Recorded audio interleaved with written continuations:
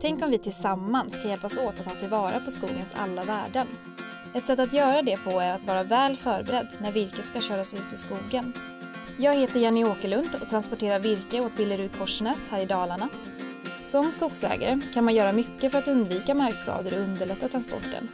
Bra skogsbilvägar är helt nödvändigt. Vägarna ska hålla i alla väder och vara tillräckligt breda.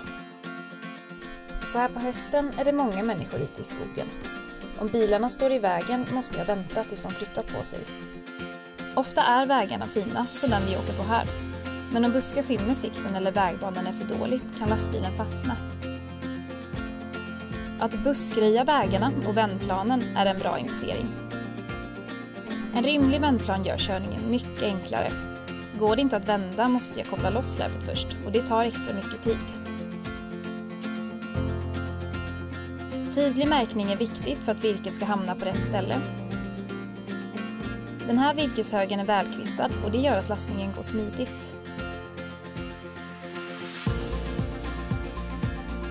I datorn ser jag hur stora volymer virke som ska köras. Det här lasset ska till virkesterminalen i Mora. För att körningen ska vara så hållbar som möjligt söker jag efter returtransporter att åka på.